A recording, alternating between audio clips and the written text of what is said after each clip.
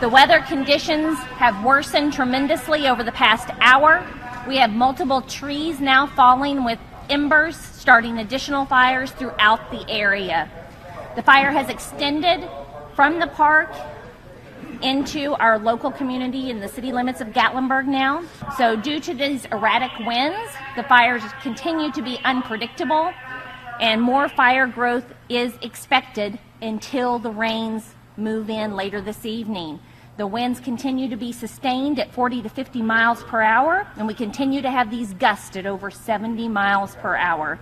The conditions are extremely dangerous, and we remind people to stay off the roadways unless they are in a mandatory evacuation area. It is hard to leave your home, uh, but as we say, their homes can be replaced, and nothing is more important than lives. And as law enforcement comes through to enact some of these evacuations, we urge people to heed those evacuation orders. Uh, that's one less area that the firefighters have to worry about there being victims trapped due to fire. So I, I know it's hard to potentially think about losing a home or a place that you've worked your entire life to build or to establish.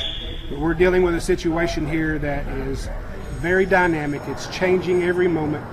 Uh, the wind is not helping us. The rain is not here yet. Uh, so we're dealing with the worst possible conditions imaginable.